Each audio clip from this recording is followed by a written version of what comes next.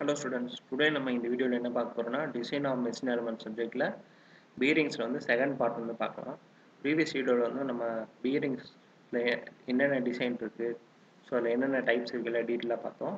இதில் இருக்க remaining concepts அதில் என்ன எப்படி ஃபெயிலியர் ஆகும் ஸோ அதை பற்றி எல்லாம் டீட்டெயிலாக இந்த வீடியோவில் பார்க்கலாம்.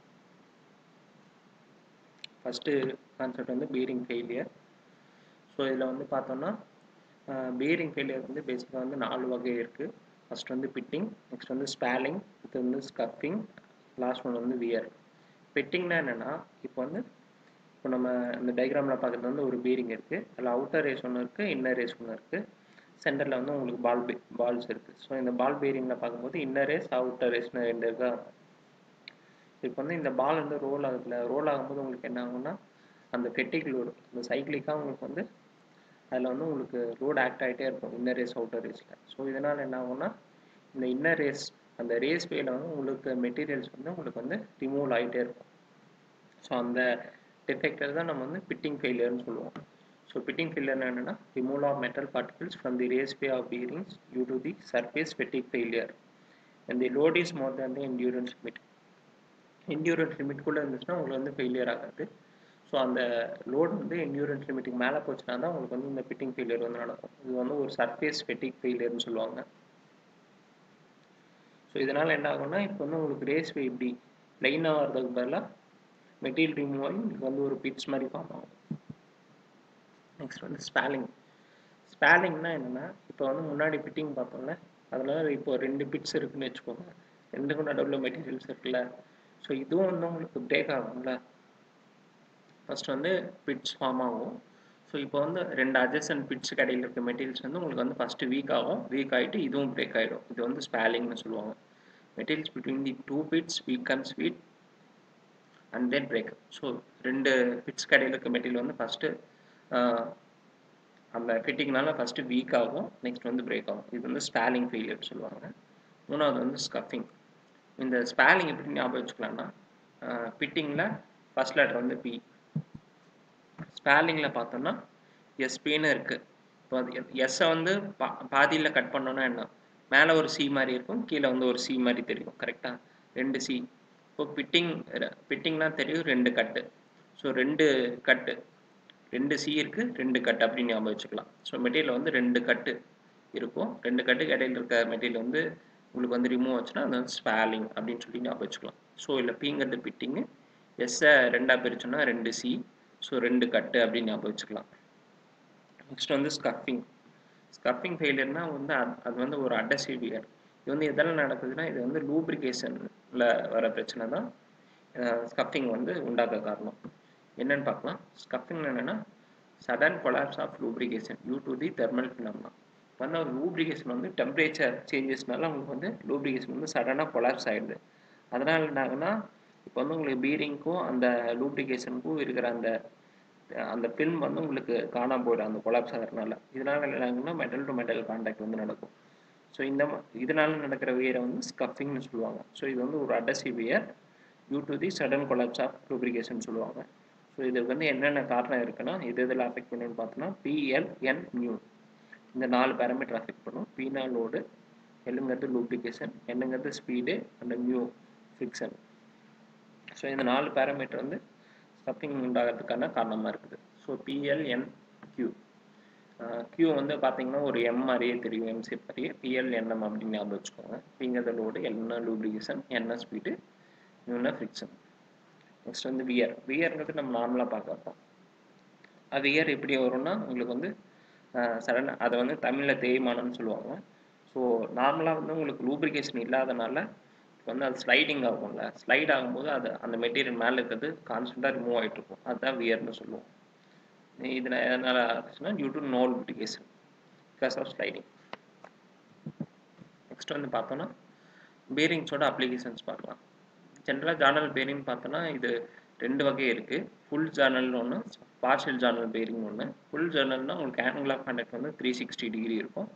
பார்ஷியல் ஜேர்னலில் பார்த்தீங்கன்னா ஒன் டுவெண்ட்டி டிகிரி இருக்கும். பார்ஷியல்னா பாதி தானே அப்படின்னு சொல்லிட்டு இங்கே த்ரீ சிக்ஸ்டியில் பாதி ஒன் எயிட்டின்னு போடக்கூடாது பார்ஷியல்னா இதில் வந்து ஒன் டுவெண்ட்டி டிகிரி ஸோ இது வந்து பார்ஷியல் ஜேர்னல் பீரிங் எங்கே யூஸ் பண்ணுவாங்கன்னா ரயில் வேகன் ஆக்சல்ஸ்லலாம் யூஸ் பண்ணுவாங்க. நெக்ஸ்ட் வந்து பார்த்தோம்னா பீரிங் வந்து நமக்கு ஃபஸ்ட்டு தெரியும். ஃபஸ்ட்டு கிளாஸிஃபிகேஷன் வந்து உங்களுக்கு பீரிங் வந்து ஸ்லைடிங் கான்டாக்டை ஹைட்ரோஸ்டாட்டிக் அண்ட் ஹைட்ரோடைனமிக் பீரிங்ஸ் ரெண்டாக பிரிச்சிருப்பாங்க. ஹைட்ரோஸ்டாட்டிக் வந்து லோ ஸ்பீடு அப்ளிகே அப்ளிகேஷன்ஸ் வந்து யூஸ் பண்ணுவாங்க நமக்கு தெரியும். ஸோ லோ ஸ்பீட்னா நமக்கு என்னென்னா பால் மில்ஸில் யூஸ் பண்ணலாம். மெஷின் ரூலில் வந்து யூஸ் பண்ணலாம். கைரோஸ்கோப் லார்ஜ் டெலஸ்கோப் இது எல்லாமே லோ ஸ்பீட் அப்ளிகேஷன்ஸ் ஸோ இங்கே வந்து நீங்கள் வந்து ஹைட்ரோஸ்டாட்டிக் பீரிங்ஸ் வந்து யூஸ் பண்ணலாம். இங்கே எங்கே எல்லாம்னா ball mill machine tools gyroscope large telescope இதெல்லாம் யூஸ் பண்ணலாம். இது ஹைட்ரோடைனமிக் பீரிங் பார்த்தீங்கன்னா high speed applications turbines engines large centrifugal pumps இதில் எல்லாமே ஹை ஸ்பீடாக இருக்கும்.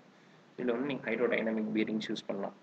ஸோ இந்த ரெண்டுலையும் என்ன லோட் ஆக்ட் ஆகும்னா இதில் ஆக்சியல் இது வந்து ரேடியல் இது எப்படி ஞாபகம் வச்சுக்கலாம்னா ஃபஸ்ட் எப்போவுமே நம்ம டிஃப்ரென்ஸ் சொல்லும்போது ஃபஸ்ட்டு ஹைட்ரோஸ்டாட்டிக் தான் சொல்லுவோம். அடுத்தது ஹைட்ரோடைனமிக் சொல்லுவோம்.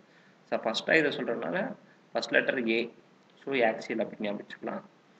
மீதி இருக்கிறது ரேடியல் நமக்கு தெரியும். ஆக்சியல் இல்லாமல் ரேடியல் லோட் இருக்கும். ஸோ ரேடியல் வந்து ஹைட்ரோடைனமிக்கில் ஆக்ட் ஆகும். ஸோ இப்போ நெக்ஸ்ட் பார்த்தோம்னா ஆன்டி ஃபிக்ஷன் பீரிங்கில் முக்கியமான விஷயம் என்னென்னு பார்க்கலாம். ஸோ ஆன்டி ஃபிக்ஷன் பீரிங்னு நமக்கு தெரியும். ஸோ ஃபிக்ஷன் கம்மியாக இருக்குது ஆன்டி ஃபிக்ஷன் ஸோ நீங்கள் வந்து ஸ்லைடிங் இல்லாமல் ரோலிங் கான்டாக்ட் யூஸ் பண்ணிங்கன்னா ஃபிக்ஷன் வந்து கம்மியாகும். ஸோ ரோலிங் கான்டாக்ட் பீரிங்கில் வந்து பார்த்தோம்னா பால் பீரிங் ரோலர் பீரிங் ரெண்டு இருக்குது ஸோ இது வந்து ஆன்டி ஃபிக்ஷன் வரும். ஸோ இதில் வந்து ஸ்பீட் எப்படி மெயின்டைன் பண்ணால் less than six thousand RPM வரைக்கும் மெயின்டைன் பண்ணலாம். அந்த டயம் டைமெண்ட்ரிக் பீரிங் வந்து உங்களுக்கு less than five hundred MM வந்து யூஸ் பண்ணும். ஸோ ஆன்டி ஃபிக்ஷன் எங்கே யூஸ் பண்ணுவாங்கன்னா கியர் பாக்ஸில் யூஸ் பண்ணுவாங்க. நெக்ஸ்ட் வந்து பிளெயின் பீரிங் பிளெயின் பீரிங்கில் முக்கியமான விஷயம் என்ன ஞாபகம் வச்சுக்கணும்னா இது வந்து ஓவர்லோடிங்கிறது ஞாபகம் வச்சுக்கணும். அது எப்படி ஞாபகம் வச்சுக்கலாம்னா Tamil plain first letter P இது வந்து பெரிய லோடு அப்படின்னு. பிங்கிறது பெரிய லோடில் ஃபஸ்ட்டு பி பிபி ஸோ பெரிய லோடுன்னு சொல்லி ஞாபகம் வச்சுக்கலாம். பெரிய லோடுனா என்ன? பெரியனா அதிகம். அப்போ வந்து ஓவர்லோடிங் ஸோ அப்படி ஞாபகம் வச்சுக்கலாம் பெயின் பே பிளெயின் பேரிங்க நெக்ஸ்ட் வந்து பேரிங்கில் என்னென்ன லோட் ஆக்ட் ஆகுன்னு பார்க்கலாம். ஹைட்ரோஸ்டாட்டிக் அண்ட் ஹைட்ரோடைனமிக் இப்போ தான் பார்த்துருப்போம். ஹைட்ரோஸ்டாட்டிக்னா ஃபஸ்ட்டு வருது ஆக்சியல் நெக்ஸ்ட் வந்து ஹைட்ரோடைனமிக் வந்து ரேடியல் லோட் நெக்ஸ்ட் வந்து டேப்பர் ரோலர் பீரிங்கில் பார்த்தோம்னா நமக்கு தெரியும். அது டேப்பராக இருக்கனால ஆக்சியல் ரேடியல் ரெண்டுமே வரும். ஜென்ரலாக ரேடியல் தான் வரும். ஸோ டேப்பர் ஆனாவே ஆக்சியல் த்ரெஸ்ட்டும் சேர்ந்து வரும். ஸோ இது வந்து ரெண்டும் சேர்ந்து வர காம்பினேஷன் வந்து மேக்ஸிமமாக இருக்கும். இதே வந்து இந்த ரெண்டும் சேர்ந்து வேறு எந்த பீரிங்கில் வரும்னா ஆங்குலர் காண்டாக்ட் பீரிங்கில் வரும். ஸோ இதில் வந்து லோ டு மீடியம் காம்பினேஷனாக ஆக்சியல் ப்ளஸ் ரேடியல் லோடுங்க வரும். ஸோ இதில் வந்து கம்மியாக இருக்கும் axial radial load taper roller தான் அதிகமான ஆக்சியல் ரேடியல் லோடு வந்து உங்களுக்கு இருக்கும். நெக்ஸ்ட் வந்து ஸ்ப்ளைன்ஸ் அப்படின்னா என்னென்னு பார்க்கலாம். ஸ்ப்ளைன்ஸ் அப்படின்னா என்னென்னா இப்போ வந்து ஒரு பெரிய கியர் பார்க்குறீங்களா? அந்த மாதிரி அந்த சின்ன சின்ன டூத் வந்து ரொம்ப ஸ்மாலாக வச்சு பார்க்குறது தான் உங்களுக்கு வந்து ஸ்ப்ளைன் சாப்ட்னு சொல்லுவாங்க. இந்த மாதிரி சாப்டில் வந்து இது வந்து உங்களுக்கு இடையில இந்த ரெண்டு டூத் மாதிரி தெரியும். ஆனால் இடையில ஸ்பேஸே இருக்காது. ரொம்ப கம்மியாக இருக்கும். ஸோ இந்த மாதிரி உங்களுக்கு நீடில் நீடில் வெளியே நீடிட்டுருக்கும் ஸோ இது வந்து ஸ்ப்ளைன் சாப்ட்னு சொல்லுவாங்க. எதுக்கு யூஸ் பண்ணுவாங்கன்னா இதுவும் டூ டிரான்ஸ்மிட் பவர் தான். அது மட்டும் இல்லாமல் to permit relative axial motion between shaft and cup இந்த சாப்டும் இதுக்கு மேலே மாட்டுற கப்பு இருக்குல்ல அது வந்து ஆக்சியெல்லாம் மூவ் ஆகிட்டு இருக்கணும் இந்த சென்டர் ஆக்சிஸ் இருக்குல்ல ஆக்சிஸ் போட்டு முன்னாடி பின்னாடி மூவ் ஆகலாம். ஸோ இந்த மாதிரி இருக்கிறதுக்கு இருக்கிறது வந்து permit relative axial motion permit பண்ணது ஸ்ப்ளைன் சாப்ட்னு சொல்லுவோம். ஸோ இந்த மாதிரி ஆக்சிஸை நம்ம எப்படி சாஃப்டாக எப்போ மூவ் பண்ணுவோம்னு பார்த்தோம்னா இப்போ நம்ம கியர் ஷிஃப்டிங் இப்போ கார்லலாம் பார்த்தோம்னா ஃபஸ்ட் கியர்லேருந்து செகண்ட் கியர் மூவ் பண்ணுறோம்ல அதெல்லாம் எப்படி? அந்த கியர் சேஞ்ச் பண்ணும்போது நம்ம அந்த ஷிஃப்ட் பண்ணி தான் பண்ணுவோம். கரெக்டாக அப்போ வந்து அந்த ஸ்ப்ளைன் ஷாப்பில் தான் இந்த மாதிரி ஷிஃப்ட் பண்ண முடியும். ஸோ இது வந்து கியர் ஷிஃப்டிங் மெக்கானிசம் வந்து யூஸ் பண்ணலாம். நெக்ஸ்ட் வந்து நீடல் ரோலரில் வந்து முக்கியமான விஷயம் என்னென்னா ஸ்பேஸ் வந்து அதில் கம்மியாக இருக்கும். நெக்ஸ்ட் வந்து அதில் கேஜஸ் வந்து இருக்காது. பால் பீரிங்கில் பார்த்தீங்கன்னா அதில் கேஜஸ் இருக்கும். ப்ரீவியஸ் வீடியோவில் நம்ம டீட்டெயிலாக பார்த்துருப்போம். தென் நீடல் ரோலரில் வந்து அது கேஜஸ் இருக்காது. அந்த ஸ்பேஸும் கம்மியாக இருக்கும். நெக்ஸ்ட் வந்து டேப்பர் ரோலரில் முக்கியமான விஷயம் என்னென்னா வந்து sensitive tightening as it is induces axial thrust இப்போ வந்து டே டேப்பர் ரோலர் பீரிங் வந்து டைட் பண்ணும்போது ரொம்ப சென்சிட்டிவாக இருக்கும். ஏன்னா நம்ம ஸ்மாலாக டைட் பண்ணுற இது கூட அது ஆக்சல் த்ரெஸ்ட் உண்டாகிறதுக்கு வாய்ப்பு இருக்குது அதில் டேப்பர் இருக்கனால ஸோ ஜென்ரலாக என்ன பண்ணுவோம்னா டேப்பர் ரீலிங் வந்து ரோலர் பேரிங் வந்து எப்போவுமே பேராக தான் யூஸ் பண்ணுவோம். நமக்கு கியர்ஸில் பார்த்தோம்னா ஹெலிக்கல் கியர் வந்து பேராக தானே யூஸ் பண்ணுவோம். ரெண்டு கிராஸ் ஹெலிக்கல் ரெண்டு ஹெலிக்கலும் சேர்த்து வச்சு herringbone gear double helical gear அப்படின்னு சொல்லி யூஸ் பண்ணுவோம்ல. ஸோ அந்த மாதிரி தான் டேப்பர் ரோலரும் நம்ம வந்து பேராக யூஸ் பண்ணுவோம். அப்போ தான் நம்ம ஆக்சல் த்ரெஸ்ட் வந்து நல்லிஃபை பண்ண முடியும். நெக்ஸ்ட் வந்து பால் பேரிங்கில் என்ன விஷயம்னா more accurate centring so ball பேரிங்கில் வந்து மோர் அக்யூரேட் சென்ட்ரிங் வந்து பண்ண முடியும். நெக்ஸ்ட் வந்து வார்ம் சாஃப்டில் சாஃப்ட் வந்து ஹெவி டியூட்டி ஸ்பீட் ரெடியூசஸ். அப்படி யூஸ் பண்ணும்போது அதில் என்னென்ன ஃபோர்ஸ் ஆக்ட் ஆகும் அப்படிங்கிற மாதிரி பார்க்கலாம். Shaft in heavy duty speed ரெடியூசர்ஸ்னால் என்னென்னா ஹெவி டியூட்டி ஸ்பீட் ரெடியூசர்ஸ்னால் ஸ்பீடு வந்து ரொம்ப கம்மியாக ரொம்ப அதிகமான ஸ்பீடு வந்து ரெடியூஷன் வரணும். One is to fifty one is to twenty five நம்ம அந்த அதிகமான ரேஷியோவில் ஸ்பீட் ரெடியூஸ் பண்ணோம்னா நமக்கு தெரியும் வார்ம் கேட் தான் யூஸ் பண்ணுவோம். ஸோ இதுக்கெல்லாம் யூஸ் பண்ணுற சாஃப்ட்டில் வந்து என்னென்ன லோட் ஆக்ட் ஆகும்னு பார்த்தோன்னா tangential load radial load axial load வாங்கியரில் நமக்கு தெரியும். அதில் வந்து உங்களுக்கு ஹெலிக்ஸ் இருக்கனால உங்களுக்கு வந்து ஆக்சியல் த்ரஸ்ட் வந்துடும் நெக்ஸ்ட் வந்து டேஞ்சன் செல்லோட எப்போவுமே இருக்கும். பவர் டிரான்ஸ்மிட் பண்ணுறதுக்கு டேஞ்சன் செல்லோடு தான் தேவை. ஸோ அதன் மூலமாக உங்களுக்கு வந்து சியர் ஆகும். நெக்ஸ்ட் வந்து ரேடியல் வந்து உங்களுக்கு ரேடியஸ் லேக் ஆகும். இப்போ வந்து ஒரு சாப்ட் இருக்குன்னா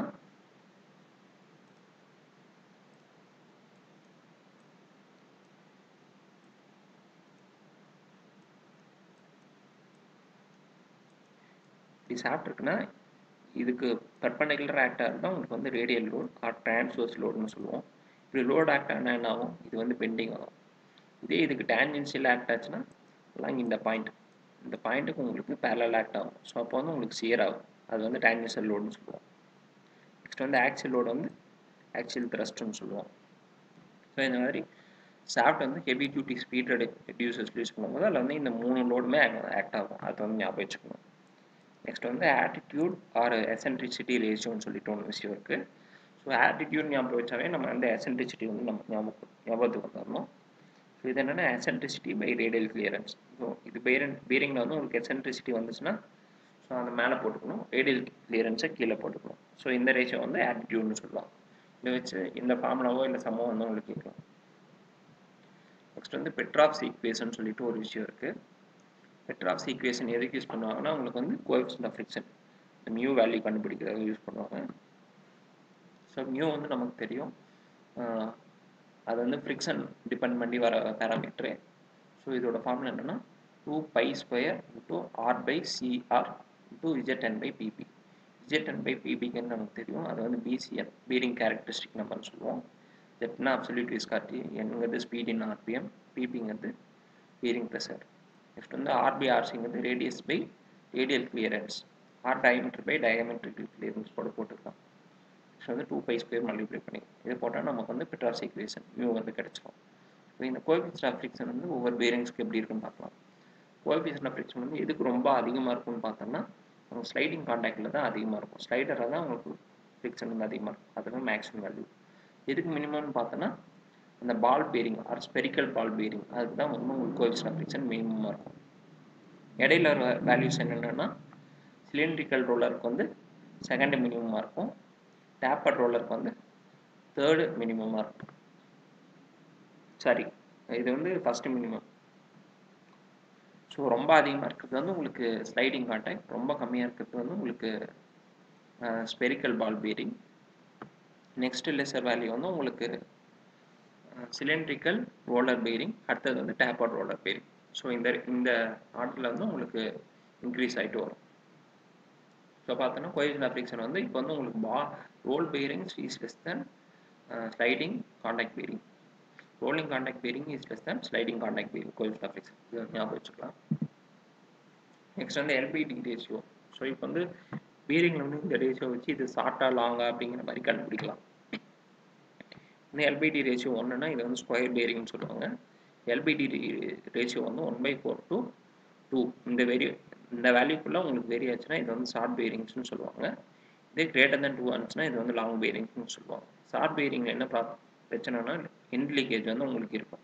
இந்த ஆயில்ஸ் வந்து உள்ளே இருக்குல்ல அது வந்து லீக் ஆகிட்டு இருக்கும் இன்ஸில் ஸோ இது வந்து ஷார்ட் பேரிங்கில் இருக்க ப்ராப்ளம் லாங் பேரிங்கில் வந்து அந்த ப்ராப்ளம் வந்து இதாகிடும் no end leakages short bearing வந்து வந்து மாடர்ன் அப்ளிகேஷன்ஸ்லாம் சாஃப்ட் பேரிங் தான் யூஸ் பண்ணுவாங்க. அதுக்கு என்ன ரீசன்னு பார்த்தோம்னா சாப் டிஃப்ளெக்ஷன் மிஸ்அலைன்மெண்ட் இதெல்லாமே ஆப்ரேஷன் வந்து அஃபெக்ட் பண்ணாது. ஸோ இது வந்து ஞாபகம் வச்சுக்கலாம். நெக்ஸ்ட் வந்து காம்பேக்ட் டிசைன் லென்த் வந்து கம்மியாக இருக்கனால காம்பேக்ட் டிசைன் ஒன்று வந்து கூலாக ரன் ஆகிட்ருக்கும் ஸோ இந்த மூணு விஷயம் இதில் வந்து அட்வான்டேஜஸாக இருக்குது ஒன்று வந்து சாஃப்ட் ரிஃப்ளெக்ஷன் மிஸ்அலைன்மெண்ட் சாப்டோட ஆங்குலர் மிஸ்அலைன்மெண்ட் இதெல்லாம் வந்து உங்களுக்கு ஆப்ரேஷன் வந்து அஃபெக்ட் பண்ணாது. அரை இருக்காதுங்கிற மாதிரி சொல்லிக்கலாம். நெக்ஸ்ட் வந்து காம்பேக்ட் டிசைனாக இருக்கும். லென்த் வந்து கம்மியாக இருக்கனால லென்த் டைமெண்ட் கம்மியாக இருக்கனால நெக்ஸ்ட் வந்து கூல் வந்து அதிகமாக ஹீட் ஜென்ரேட் பண்ணாது. நெக்ஸ்ட் வந்து இதில் வந்து லோட் கேரிங் கெப்பாசிட்டி வந்து கம்மியாக இருக்கும். லாங் பேரிங்ஸில் வந்து அதிகமான லோட் கேரிங் வந்து கெப்பாசிட்டி அதிகமான லோட் வந்து நீங்கள் கேரி பண்ணிக்கலாம். ஷார்ட் பேரிங்கில் வந்து உங்களுக்கு வந்து லோட் கேரிங் கெப்பாசிட்டி கம்மியாக தான் வரும் அதே மாதிரி லாங் பேரிங்கில் உங்களுக்கு எண்டு லீக்கேஜ் இருக்காது. அது ஒரு அதில் வேறு அட்வான்டேஜான விஷயம் நெக்ஸ்ட் வந்து பீரிங் ஐடென்டிஃபிகேஷன் பீரிங் வந்து இப்படி ஐடென்டிஃபை பண்ணலாம் அப்படிங்கிற மாதிரி பார்க்கலாம். ஸோ முன்னாடி வந்து ஒரு இது வந்து ப்ரொடியூசர் எஸ்கேப் வந்து ஒரு ப்ரொடியூசரு பீரிங் மேனுஃபேக்சர்னு சொல்லலாம். நெக்ஸ்ட் வந்து இப்போது ஒரு மூணு சீரீஸ் கொடுத்துருக்காங்க. Two zero one five three one one five four two one five அப்படின்னு சொல்லிட்டு. இதில் வர லாஸ்ட் டிஜிட் வந்து டயமீட்டர் அந்த பீரிங்கோட போர் டயமீட்டர்னு சொல்லுவாங்க. ஸோ இந்த வந்து இப்போ சேமாக கொடுத்துருக்காங்க. ஸோ இது வந்து டயமீட்டர் சேம் கொடுத்துருக்க வேல்யூ இன்டூ ஃபைவ் வந்து நம்ம போட்டுக்கணும். போர்ட் கண்டுபிடிக்கணும்னா.